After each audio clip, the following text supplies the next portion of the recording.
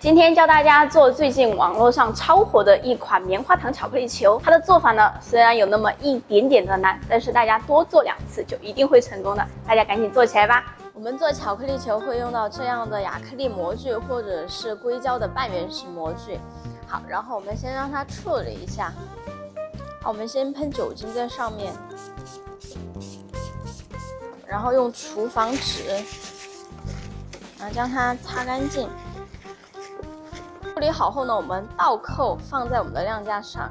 好，为了防止更多的灰尘进入我们刚刚已经抹好的那个里面，我们融化纯可可巧克力，还有我们的可可脂。好，巧克力融化好后呢，我们提起来是比较丝滑的。然后我们一直坐在水上，然后将它保温。可可脂全部都融化好了，然后我们来调色。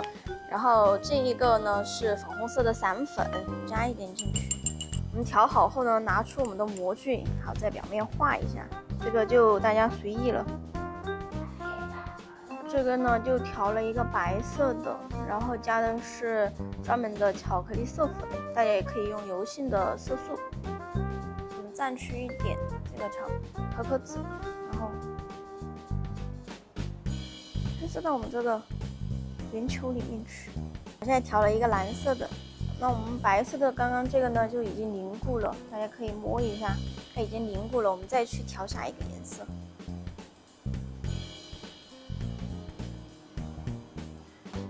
了一个深色的蓝，然后同样画在上面，随意。我们画好后呢，就把边上一定要擦拭干净，因为一会儿要弄巧克力在上面。弄好后，我们放进冰箱冷藏一会儿。好，我们巧克力的温度慢慢降下来了，大概在二十七八度这个样子就可以使用了。好，温度已经达到了二十七度左右，倒在里面去，倒在这里面，让它排气。弄好后倒过来。将多余的巧克力刮去，我们就将它放进冷藏，然后直至可以脱模为止。好，我们的半圆形的巧克力呢就冻好了，然后将它倒扣，然后敲两下，看一下能扣得出来吗？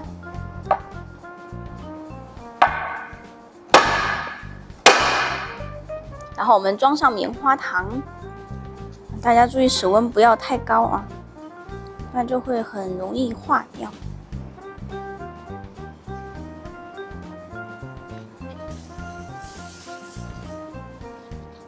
我们再将另外一半，然后用我们的锅稍微加热一下。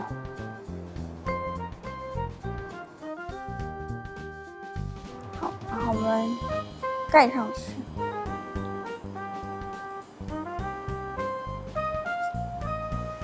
按一个球。就做好了。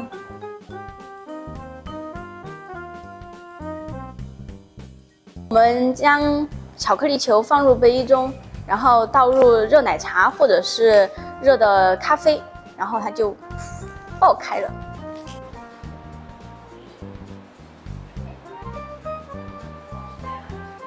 棉花糖巧克力球呢就做好了，大家都学会了吗？如果大家还有什么问题的话，请在我的评论区里留言哟。